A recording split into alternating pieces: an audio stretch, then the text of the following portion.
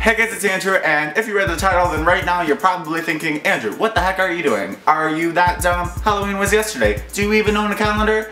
Uh, well, to answer your question, yes, I do own a calendar, but it's my Beyonce calendar, so I kind of only look at the picture of the month, and I never really look at the dates. So Halloween has already passed, but as you can see, I'm making a Halloween costume idea video, because, you know what, maybe you have a late Halloween party sometime this weekend that you need a costume for, or maybe you just want to be 364 days ahead of everyone else for next year. For the past two or three years, I've been making easy last minute Halloween costume idea videos, and I plan to do one this year, and then I just forgot, and then Halloween happens, and here we are, and I still want to do it, so I'm doing it, and this is, this is it. Ugh. I just bumped into my camera and now everything is terrible.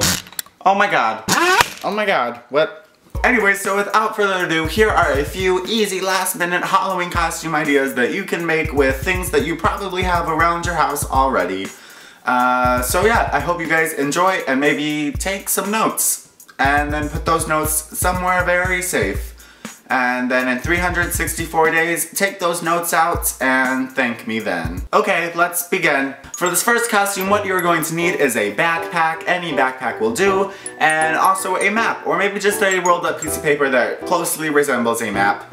Then you are also going to need a pan, and put those things in your backpack, and that's all you have to do. And now just speak Spanish for the rest of the night. That's not asking too much, and then when anyone asks you what you are, just say, Hola, I'm Pandora.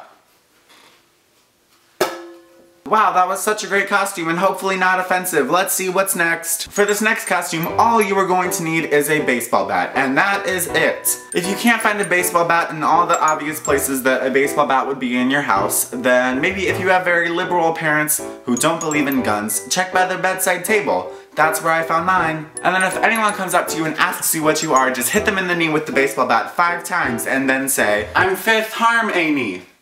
Harm, Harmony? five times harm any fifth. It's a stretch, I'm aware. For this next costume, you are going to need two things. First, a Bible, which uh, most houses might have.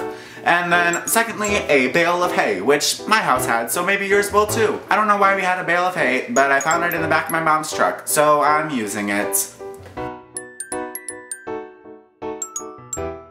But yep, that's all you need. Just hold the bale of hay and then put the Bible on top and I guess just hold that throughout the night. And then if anyone asks you what you are, just say, I'm Christian Bale.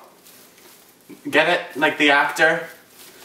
Okay, that's a mess. At first, I was going to put a flower crown instead of a Bible on top of the hay bale and say it was Lana Del Hay, but I did not have a flower crown. Um, so maybe that's an option for you. And finally, for this last costume, you are not going to need anything. Yep, that's right, you heard me. You are just going to need your body. Uh, well, also some clothes. I would just put some clothes on. Just normal clothes would be a good option. And that's it. There you have it. If anyone asks you what you are, just say, I'm that guy at a Halloween party without a costume. Yep, I'm sure people will love that one. Well guys, those are all the costume ideas I have for you this year. I hope you enjoyed, and like I said, maybe you took notes for next year. Wait, stop!